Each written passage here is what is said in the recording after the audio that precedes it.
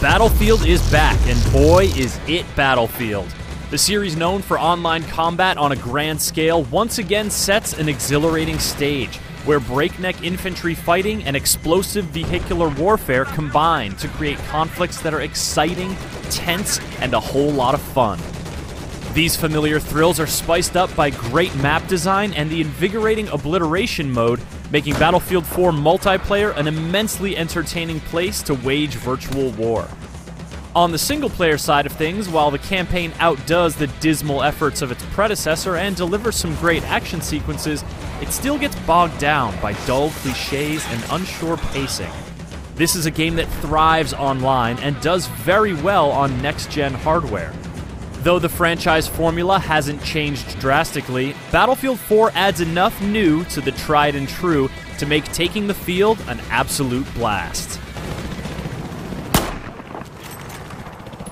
One of the best new things about Battlefield 4 is Obliteration Mode, in which two teams fight to gain control of a bomb and use it to blow up three enemy positions.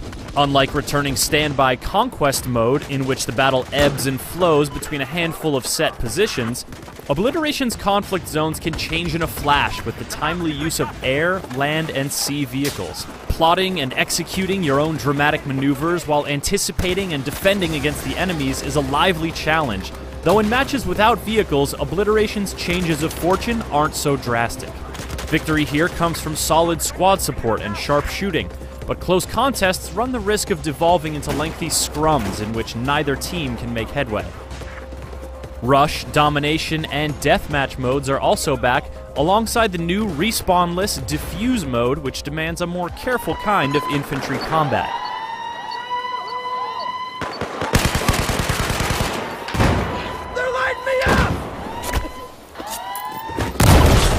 Matches in the varying modes play out on different sized versions of the 10 well designed maps. Richer color saturation makes them a pleasure to look at, while increased verticality makes urban combat more diverse. There's also a lot more water in play, and increased marine combat as a result. Prowling the narrow channels of Hainan Resort in an attack boat makes you a threat to foot soldiers and land vehicles alike. But like land vehicles on the open plains of Golmud Railway, boats are vital to mobility as well.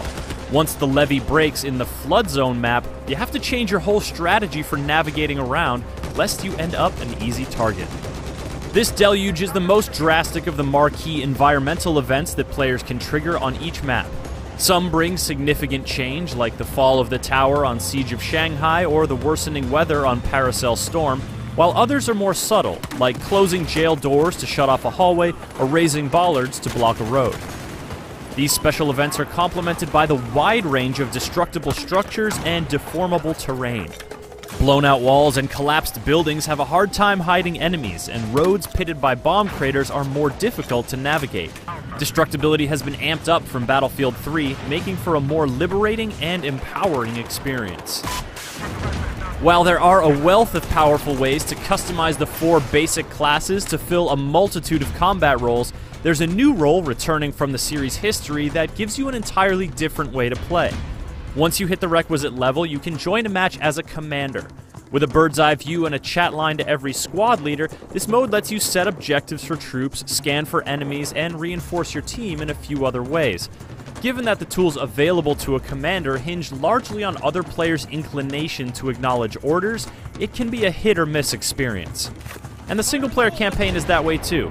It's a hit when you're fighting your way through a village using scattered weapons and the odd vehicle to carve a path to your allies, or when you're listening to your squad idly debate fortune cookie messaging. You never heard of that? The hell is that? Oh, come on. You know, like, you open up a fortune cookie and it says, Tomorrow you will be reborn in bed. What's the in bed shit Oh, about? come on. Oh, come on, man. You get it. You know, like, like, uh, you were gonna have a, uh, eye-opening experience that'll change your life in bed. Already had that. What? It's a miss when you have to slog through long sections of corridor shooting, or when the pacing slows to a crawl to reinforce the most boring aspects of each character. The campaign action is good when it channels the freedom and variety of multiplayer, and the characters are likable when they act like characters who are soldiers as opposed to soldiers who have character. Unfortunately, Battlefield 4 doesn't lean into these strengths often enough, making the campaign a decent but uninspiring diversion. So, with five versions of the game spread across two generations of consoles, where's the best Battlefield? Unsurprisingly, the PC remains on top with excellent visuals and sprawling 64 player matches, and it's joined by the PlayStation 4 version, which also looks impressive and hosts the full 64. As for the Xbox One version, that review is under embargo for another two weeks. The current gen consoles, Xbox 360 and PlayStation 3, still deliver solid visuals and exciting online play. But with matches limited to 24 players at the most, current gen already feels like last gen. But regardless of platform, Battlefield 4 multiplayer is a blast, and definitely the best reason to return to this hallowed franchise or dive in for the first time. Though the campaign makes strides in the right direction, it remains a sideshow to the main event, and what an event it is! Expansive and exciting, challenging and empowering, Battlefield 4 multiplayer is a thrilling endeavor in this generation or the next.